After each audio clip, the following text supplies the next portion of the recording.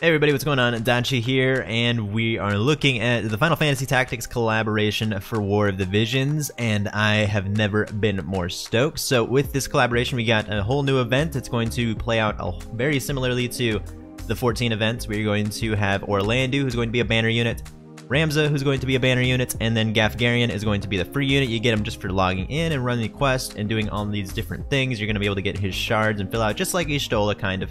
We're going to go over all the new additions with the patch for the most part, and then a big thing right here, as everybody should have already seen, because this is like the first QOL that we're actually going to be getting, and once I actually pop into this quest here, is the auto-repeat function. So really cool there.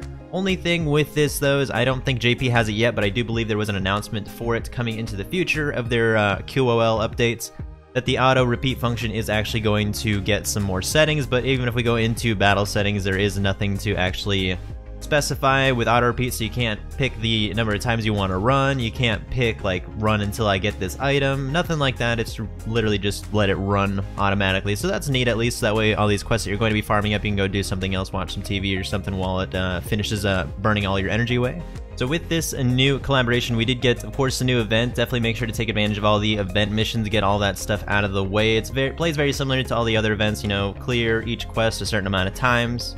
You get all the event mission rewards, as well as materials to rank up your Gafgarion, as well as some shards and other goodies there. And then we do have a new bingo board to come with the collaboration, which is really cool. So a bunch of cool stuff here, specifically for Gafgarion, but there is some other neat stuff here as well. You get some FFT summon tickets in here. And then as part of the second bingo board, some more Gafgarion shards, more mats for some more event currency, more tickets, or I should say one ticket, the big one though is once you finish all of the bingo board rewards, you're going to get 40 Ramza shards. And I gotta say, this event is giving away a lot of Ramza shards. There's a lot of easier ways to get Ramza than there is to get Orlandeau, and they give out a whole lot more of his shards than they do Orlandeau in general. So we'll take a look at that when we look into the banners. And then going over the new events real quick. So of course we have the FFT event quest. I would say, of course, this is going to be the one that's going to give you the most event currency farming, you know, just this last quest here. Thing is though, this only gives the purple mats, as you can see right there, but do make sure to check these other quests to see what other kind of mats you might need, specifically while you're upgrading any of the FFT units, especially Gafgarion. If you need some blues, farm, you know, this or farm one of these other ones, or you could just go back to story quests because you might want to also farm up some chances for some job orbs as well. But these options are available here to you if you feel like you don't need any job orb farming also, we got the JP reward quest to come back, so we have the daily JP rewards, definitely do that. And then the 3 million download commemorative quest, make sure to clear out all the mission rewards for a guaranteed fragments and rainbow vision sphere. And then beyond that, you are going to get random drops every day for all these things right here. So I believe it is 10 per drop. So every time you get one drop, you're going to get 10 fragments or prisms. So really good event. And then the last new event here is going to be the Secret Book Reward Quest, and what's neat is they break it up here to show you exactly what books you're going to need for specifically what kind of gear that you want to end up upgrading and enhancing. Also, there are event missions tied to this one as well, so definitely take care of those. And there is also a multiplayer quest for the secret book, so if you want to get your secret book farming out of the way, you can do that in MP, and there are also missions reward to the MP. Echtre quest here is going to be ending in a week, so make sure you get all your gear and all of your Echtre shards every day if you're wanting to build her out, or at least have all of her materials or her shards necessary for her into the future if you feel like building her out in the future.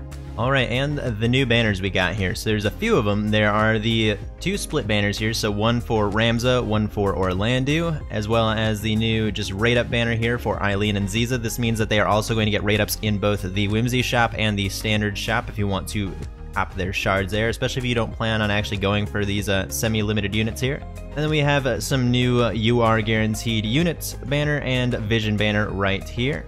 And then, of course, they have the big one. I can't show it because it's already been used for today, but starting today, for the next 10 days, we're getting a free multi every day. So that is 100 pulls in total. Make sure to get those out of the way.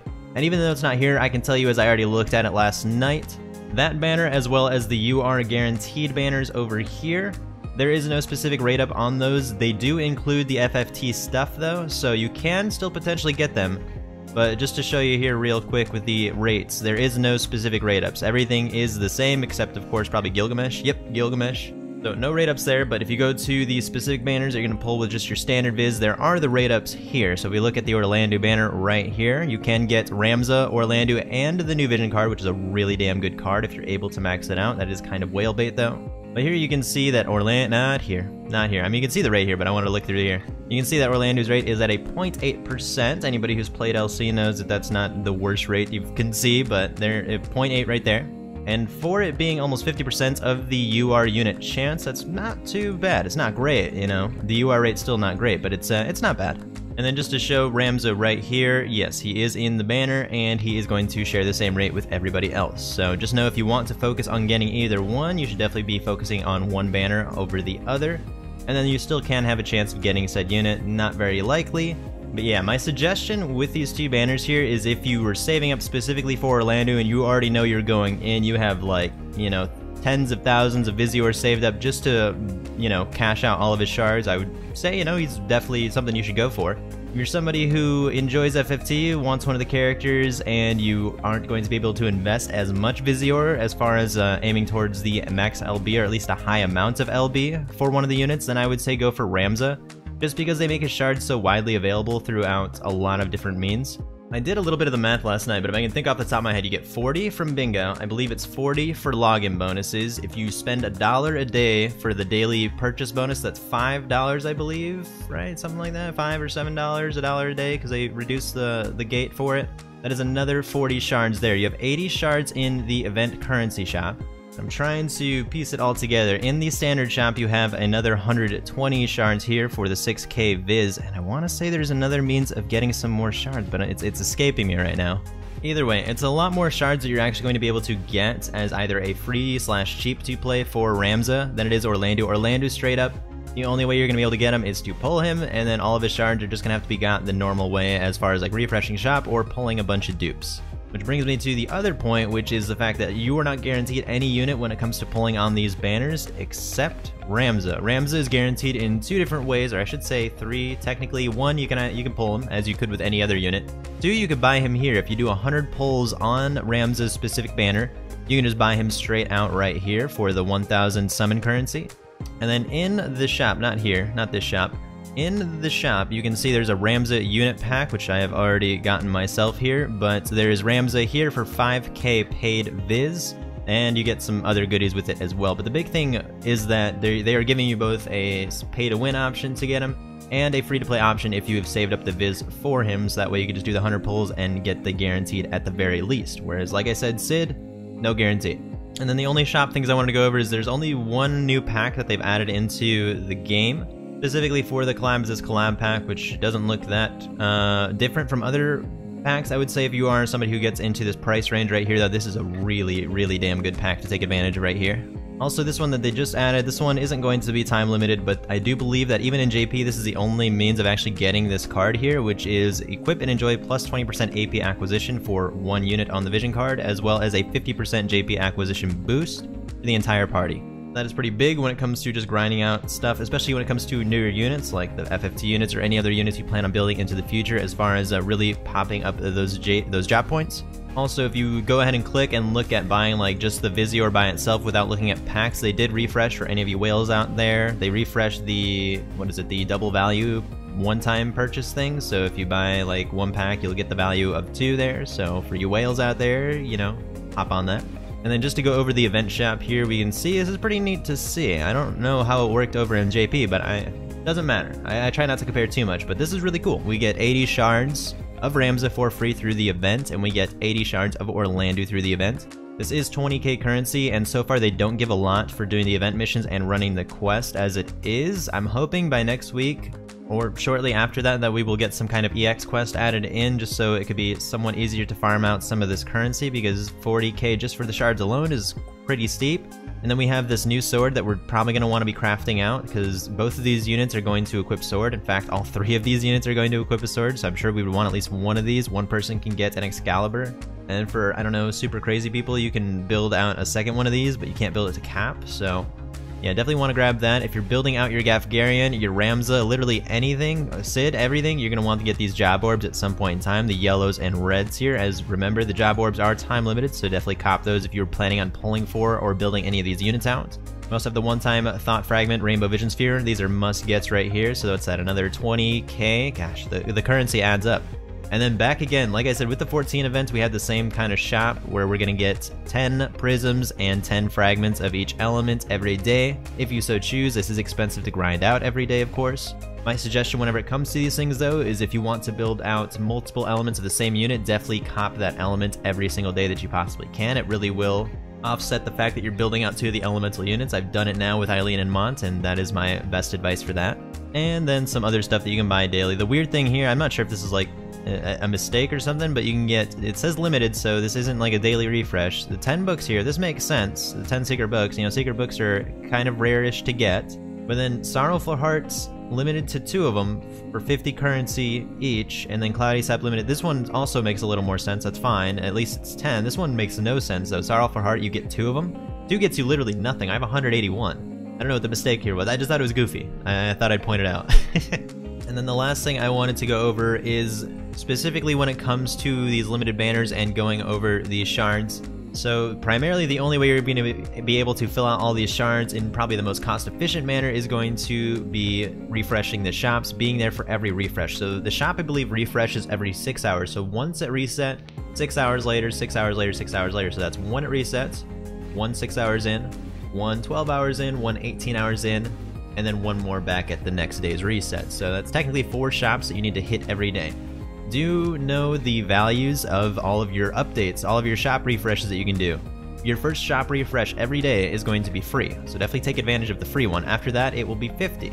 After the 50 refresh is uh, where I'm foggy because I already did a refresh, but I think it is one for 50, then it's 100, and then it's 200, and then I'm not sure because I haven't gotten that far yet, but I believe it caps at 200, and then it just keeps asking you to spend 200 viz every refresh after that. You're also limited based on your royal rank, so I would say for free to plays, you should aim to be refreshing at least to the 50 slash to the 100 viz refresh mark if you can every day.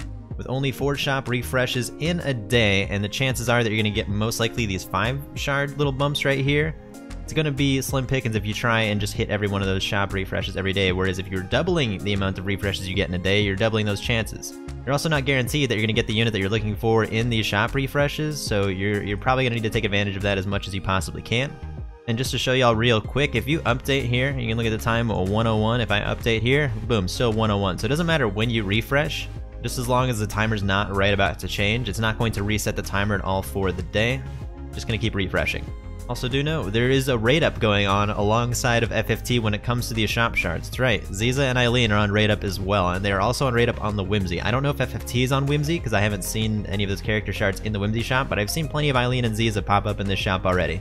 Alright, and to break it down with this super neat and nifty little chart that I put together that is probably not even completely accurate, but at least a good reference point, is going to be the kind of cost expectancy when it comes to actually maxing out all of these characters. This isn't even including the amount of pulls or the amount of visits it's going to take to even pull these characters to even begin with but excluding all of the free shards that we get, and this is free, this isn't with Viz, so this isn't even including the 120 that we can get from the shop already, which absolutely take those now. That's going to be your easiest shot at getting 120 shards when it comes to actually refreshing shops and whatnot. But free shards alone, that's 80 from the Mog Shop for Orlandeau, 40 from the Bingo event, 40 from the login, and then 80 from the Mog Shop as well for Ramza, so that's 160 shards taken out for him. There might be more that I'm forgetting slash I feel like I'm missing something else, but there is also other means of getting his shards a little easier than Orlandeau, if you're spending money that is, but just free free shards alone looking at this, you can see uh, some wonky math. I did the divided by 40 just because 40 shards is 2k viz, so I was just doing the math so I could break it down here. Essentially though, to get those 520 shards, it's going to be 26k for Orlandeau, excluding the free shards, excluding any dupes you might pull, then for Ramza, you are going to need 440 shards left over, besides the free ones that we get, and that is 22k Viz. If you were trying to build out both of these units, that is at least 48k Visiore in order to get them both max LB'd. And then we have to look at the shop refreshes, which we were just taking a look at. This is where my math might be a little more iffy, just because uh, unfortunately I couldn't show off all the resets for the day. And it, this is personally going to matter more into like your own pocket, whether or not you're going to want to be refreshing as much in a day or as little as you can in a day. At least the one free refresh, and then the 50 refresh. I would say that is the easiest like slash best value, and it just depends how long they're going to stay in the shop for Rada.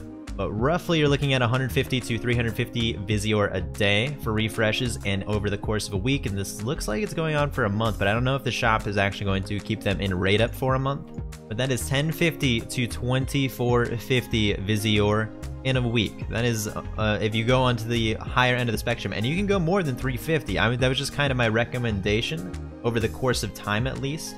That's a little more than a multi right there, and on the kind of smaller spectrum that is getting the 50 uh, refresh and the 100 refresh every day, that's half of a multi right there. Of course, this is all luck dependent on how little or how much you're going to have to spend, but just looking at one unit alone, like for me personally, looking at Orlandeau, that's 26k viz that I'm looking at. And if I were going to go into the higher end of the spectrum, and I'll just give it, you know, I'll give it the benefit of the doubt and say about two to three weeks, so at least another 4,900 viz to do the higher end of what I've uh, I projected here. That's at least 30k Visiore for one character, not including Ramza here. Altogether, they're looking at about probably nigh on 60k viz, and that's, you know, with relative luck there. Also, when you look at those shop refreshes every day, make sure you're hitting those shops every single day, the actual like free timed resets that you get throughout the day, because that's huge. That is, you know, a lot of viz that you're saving right there every day when you're trying to build out all these characters. But that's it. Somebody asked me last night if I can kind of like make a little thingy to kind of show how you should be trying to aim for a max LB on these characters, and I thought I would at least put out the cost expectancy for people. Yeah, we did end up pulling uh, Cid here live last night. It was super exciting. I did get the Ramza pack, so I do have Ramza wherever that young boy is.